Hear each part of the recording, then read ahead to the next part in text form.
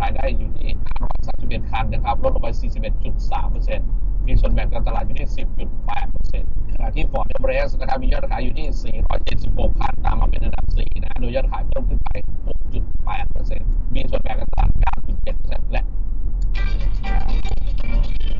สวัสดีค่ะ ปายค่ะ เป็นนักแสดงค่ะ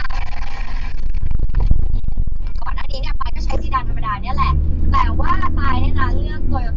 Toyota Corolla Cross นะคะ เหตุผลเพราะว่าเหมาะกับไลฟ์สไตล์ของปายมากค่ะปายเนี่ยเป็นคนจุของเยอะมากในรถ ซึ่งในรถปายเนี่ยมีรองเท้าประมาณ 20 คู่